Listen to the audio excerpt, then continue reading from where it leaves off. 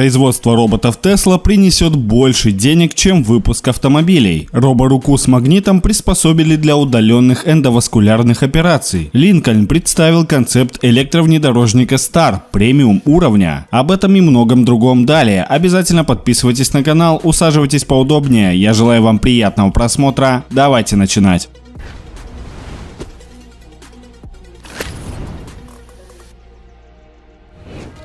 Илон Маск возлагает большие надежды на производство его компании человекоподобных роботов, анонсированных в прошлом году. По его мнению, этот бизнес будет стоить больше, чем автомобильный бизнес. Еще одним крупным источником дохода для Tesla станут роботакси, но об этом позже. Робот Optimus ростом 177 см, созданный с опорой на последние разработки Tesla в области нейронных сетей и суперкомпьютер Dojo, предназначен для выполнения рутинной человеческой работы в производстве, а также и в быту. Ранее Маск сообщил сообщал, что новая волна продуктов, таких как Optimus, будет представлена в 2023 году. В ходе недавнего отчета о результатах работы в первом квартале 2022 года Маск рассказал, что Tesla продолжает работу над совершенствованием робота-гуманоида. Я был удивлен, что люди не осознали масштабы программы роботов Optimus. Важность Optimus станет очевидной в ближайшие годы, отметил Маск. Также он подчеркнул, что этот бизнес принесет компании больше дохода, чем выпуск электромобилей и продажа технологий автопилота. Теперь давайте обсудим роботакси Tesla. До недавних пор компания делала упор на использование в составе парка роботизированных такси серийных электромобилей марки, которые при этом даже могли иметь частного владельца. Лишь в этом году Маск заявил, что к 2024 году компания собирается наладить выпуск специализированного транспортного средства, управляемого автоматически. По его словам, проехаться на таком такси будет возможно с меньшими затратами, чем на автобусе. Теперь давайте познакомимся с новинками из мира электромобилей. Бренд Lincoln после серии не вполне внятных тизеров наконец представил концепт нового электрического внедорожника Star. В ходе мероприятия, прошедшего в Лос-Анджелесе, производитель поделился планами будущей электрификации транспорта. Ожидается, что в рамках проекта Star Concept три модели Lincoln представят к 2025 году, а еще одну в 2026.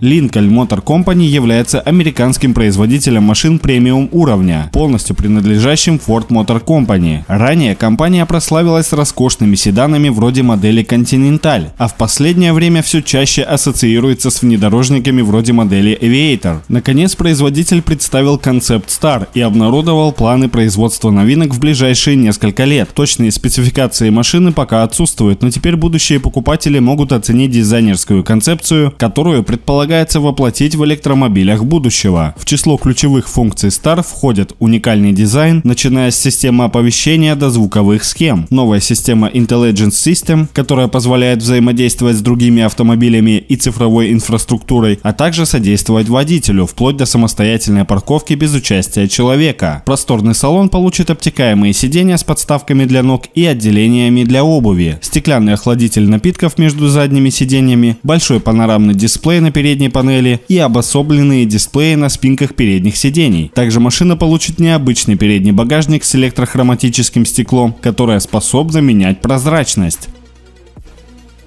Lexus представил первый электромобиль бренда, разработанный с нуля. Представленный электрокроссовер построен на основе колесной базы длиной 2,8 метра. При этом габариты авто составляют 4,8 на 1,8 на 1,6 метра. Электромобиль оснащается 18-дюймовыми колесами. Источником питания служит блок аккумуляторных батарей емкостью 71,4 кВт-часов. Согласно имеющимся данным, электрокроссовер может проехать без подзарядки около 450 км. В авто реализована новая система активного полного привода Direct 4, которая оптимизирует распределение тяги между колесами на основе данных, получаемых от размещенных в конструкции датчиков. По словам разработчиков, данная система обеспечит превосходные ходовые качества и более тесную связь между человеком и машиной. На приборной панели разместился 14-дюймовый дисплей с поддержкой сенсорного управления, а сама информационно-развлекательная система поддерживает управление с помощью голосовых команд. Базовая версия электромобиля будет поставляться со стандартным стандартным рулевым колесом, но опционально будет доступно рулевое колесо, напоминающее штурвал. Вместе с этим Lexus объявил о намерении сформировать полноценную линейку автомобилей на электротяге к 30 году, а еще через 5 лет после этого полностью отказаться от производства машин с двигателями внутреннего сгорания. Что касается данной новинки, то ее производство должно начаться позднее в этом году. Розничная стоимость пока не озвучена. Инженеры из MIT разработали систему для дистанционного проведения эндоваскулярных хирургических операций. Она состоит из манипулятора с постоянным магнитом на конце и электроприводов для управления движением намагниченного хирургического инструмента внутри кровеносных сосудов. Хирургические манипуляции выполняются полностью удаленно с помощью пульта и контролируются в реальном времени с помощью рентгеновского аппарата и ангиографии. Испытания показали более высокую безопасность магнитной системы управления в сравнении с ручными операциями операциями. Инженеры надеются, что их разработка повысит доступность качественной и быстрой хирургической помощи для пациентов с заболеваниями кровеносных сосудов. Основным компонентом системы выступает медицинский манипулятор фирмы Кука, имеющий 7 осей вращения. На конце манипулятора закреплен постоянный неодимовый магнит цилиндрической формы диаметром и высотой 100 мм. Роборука может перемещаться вокруг пациента, а магнит на ее конце поворачивается и отклоняется в разные стороны, оказывая с помощью магнитного магнитного поля воздействия на хирургический инструмент с магнитными элементами. Таким образом, робот управляет инструментом и выполняет необходимые манипуляции внутри организма.